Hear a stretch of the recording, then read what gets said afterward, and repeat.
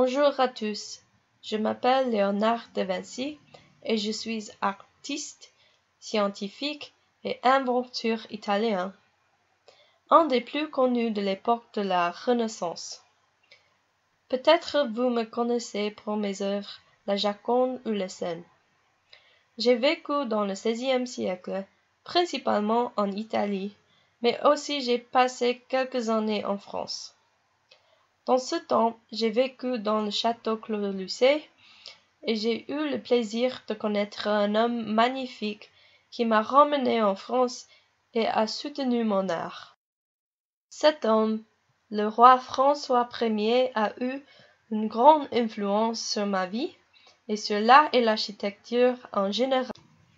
Il est important de comprendre pourquoi François aimait l'art et l'architecture autant pour comprendre pourquoi il les soutenait. Une grande influence sur l'importance de l'art pour lui était son éducation.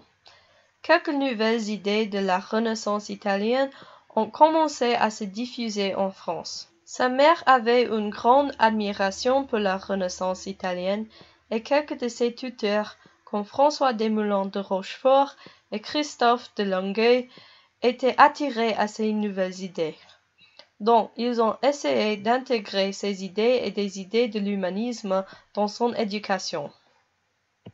Avant l'époque de la Renaissance, tout évoluait. La chute de Constantinople a causé des intellectuels et artistes à fuir en Italie, où ils ont formé des communautés. À cause des guerres d'Italie, les rois français ont voyagé beaucoup en Italie et c'est pour cette raison que les idées de la Renaissance sont venues en France. De plus, l'art et l'architecture gothique avant de la Renaissance étaient influencés par la religion. Et à cette époque, les gens commençaient à questionner l'Église et la religion.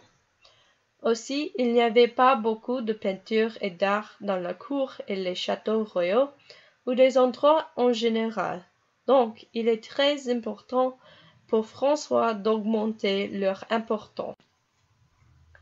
Le patronage de l'art et l'architecture de François était très important parce qu'il a changé l'importance de l'art et l'architecture et a aidé la Renaissance française à se développer. Il a attiré des artistes italiens comme moi, Fiorentino Rosso, Benvenuto Cellini et les Primatis en France, où nos œuvres ont changé le style d'art. Les artistes pouvaient être plus libres avec leur expression dans l'art, et l'art est devenu plus significatif et divers. La vie en général est devenue plus colorée et vive, parce que les peintures et d'autres styles d'art étaient plus présents dans les châteaux et dans d'autres endroits. L'art était définitivement plus célèbre à cause de François. Son influence sur l'architecture était peut-être la plus merveilleuse. Certains des plus beaux et magnifiques châteaux et bâtiments comme le château Chambord, le Louvre et Fontainebleau ont été construits avec son aide. J'ai passé la dernière partie de ma vie avec François, et en fait, je le considère comme mon fils. Malgré mon grand âge, je m'amusais beaucoup avec lui. Il avait une vie sociale très vive et contagieuse. Chaque jour, il avait une nouvelle femme dans ses bras. Souvent, j'ai surpris des conversations du personnel du château qui pensaient que son comportement était honteux. Cependant, je pense que les liaisons et les fêtes étaient nécessaires pour sa créativité. Les femmes l'inspiraient, et j'ai perçu qu'il produisait les meilleures œuvres quand il était le plus social. Maintenant, je vais parler de mon art et de mes peintures, et aussi autre là que j'ai observé et comment cela a changé en France. Quand je suis arrivé d'abord, je dois dire que tout semblait étonnant et ennuyeux. Je ne pouvais pas trouver beaucoup d'art, et là que j'ai trouvé était trop simple ou sombre. Quand nous apportions nos styles d'art, les choses commençaient à revenir à la vie. L'art est devenu plus intéressant et les gens vraiment voulaient le voir. Je suis particulièrement fasciné avec l'architecture et les châteaux magnifiques que François et moi aussi aidaient de créer. Si vous n'aviez pas visité le château Chambord, il faut que vous y alliez. Niché dans la vallée de la Loire, ce château est l'incarnation de l'architecture de la Renaissance. La construction était difficile.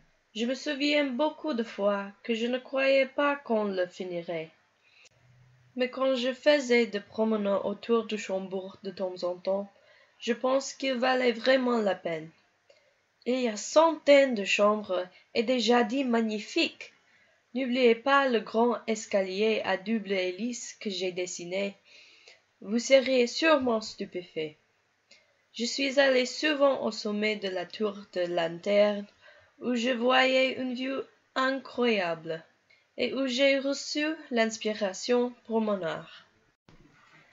Aujourd'hui, au XXIe siècle, il est difficile de trouver quelqu'un qui a eu une influence comme François Ier, particulièrement sur l'art et l'architecture. Mais on peut penser au pape Francis, qui est un personnage très influent dans le catholicisme, et il est un patron d'art et d'autres idées. Il a dit que l'art exprime la beauté de la foi. C'est une personne avec pouvoir comme François Ier. Quand les personnes avec pouvoir soutiennent des idées, l'importance de ces idées en général augmente. Aussi on peut penser à Steve Jobs ou Bill Gates, deux hommes qui ont vraiment amélioré la technologie avec leurs idées, comme François a changé l'art et l'architecture. Dans le domaine de la musique, nous avons quelques figures comme Michael Jackson qui sera toujours dans nos mémoires pour son influence sur la musique. Alors, il n'est pas difficile de comprendre pourquoi les contributions de François à l'art et l'architecture étaient importantes pour le développement de la France. L'augmentation de l'art et l'architecture apportait plus de créativité et d'expression. Les gens étaient plus capables d'exprimer leurs idées et pensées, et aussi il y avait plus d'intérêt et de curiosité pour les choses intellectuelles. Aujourd'hui, les œuvres d'art et d'architecture influencées par François sont toujours présentes partout en France et continuent d'influencer l'art et l'architecture contemporaine. Elles sont importantes pour le tourisme et bien pour la culture et l'histoire française.